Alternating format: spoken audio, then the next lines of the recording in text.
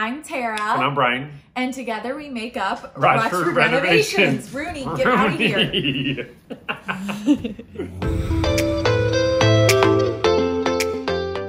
Hi, I'm Tara. and I'm Brian. And together we make up Rochford, Renovations. So, since our project has begun, we've had a lot of people asking about the history of our nearly 100 year old Tudor home located in historic Meridian Kessler. And we learned a lot about the history when we were flipping through the Decorators Show House magazine from 1984, from way back when our house was the Decorators Show House. And right now in Meridian Kessler, it is Decorators Show House season. It's happening right now. You can see the signs everywhere. So we thought this would be a perfect time to talk about the history of our house, talk about what the Decorators Show House actually is. So, Tara, what is the Decorator Show House? The Decorators Show House is a fundraiser for Eskenazi Hospital here in Indianapolis. The homeowner moves out of their home and lets several designers design each room in their house. This year, there are about 22 designers, and the home was originally built in 1929, and it's located on the iconic Meridian Street. So, our house was the show house back in 1984. And what was really cool is looking back at the brochure um, and seeing how they described everything. They actually had pictures and drawings of the room because, you know, they didn't have their iPhones out like we do now, just snapping pictures of all the rooms like we would today. Our home was originally built in 1925 by Mr. and Mrs. Paul Bessire, and it was designed by the architect Harold McLucas. McLucas designed many other notable buildings, including Laurel Hall, which just happens to be the headquarters of Phi Kappa Psi, the fraternity Brian was a member of in college, which we've both been to events at Laurel Hall. So I just think that's so cool that the same architect designed Laurel Hall and now designed our home.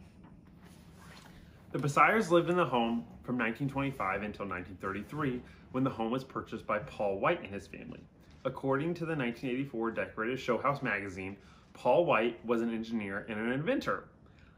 He invented the crop duster, the bassinet for his grandchild, which is relevant because we have a new baby on the way, and a method of breaking up coal that was considered a real mining innovation. Mrs. White was a child of the Malotts, and the interesting thing here is that this house was the fourth decorator's show house that was a home of one of the Malotts' children. In 1958, the home was purchased by the O'Connor family, who had eight children, and they installed a brand new kitchen. The family who owned this house prior to us purchased it just after it was the 1984 show house, which makes us the fifth family owning this home. It appears that back in the 80s, the show house was also decorated by several designers, just like it is today. In all, there were 44 areas of the home featured, including the porte-cochere and the carriage house. So some other information we found out about our house uh, happened while we were just kind of searching on the internet. Initially, we started searching on the Indiana Historical Society's website and had some trouble finding anything. We were searching by address, but when we started searching by Paul Bessire, the original homeowner, we realized that the address entered into the Historical Society's website was actually incorrect. So there are two photos of the home, but the listing is on Meridian, which is that other iconic Meridian Kessler Street, but our home is actually located on Washington. We also learned by looking at the censuses from the 20s and 30s um, that there were two other people living with the Bessires in their house. Um, they were labeled as their maids, and it was actually a married couple that lived there with them. So it makes sense when you look at the original floor plans um, that one of the bedrooms was labeled maid's room, and it was an attached bathroom and had access to both the back staircase and the attic. The other bedroom, however, is labeled guest room. So we just found that kind of interesting. There were no kids ever planned for this house, and it really was built for that family. So as I continued digging through, I found um, that that couple continued working for the Bessires even after the Bessires moved. Paul Bessire actually owned a company that imported baking supplies from Europe, flour, stuff like that, and um, the guy that lived there with him and helped keep up the house moved on to working at um, his company with him, which I thought was really cool.